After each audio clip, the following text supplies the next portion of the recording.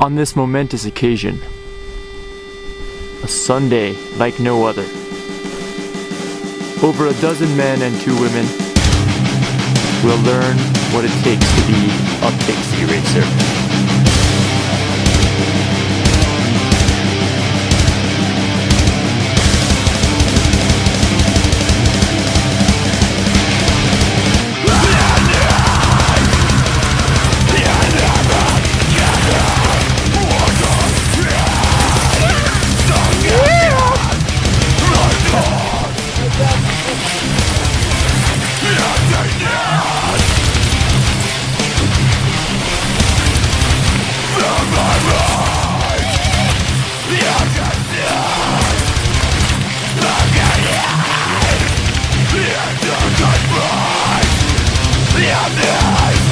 Cry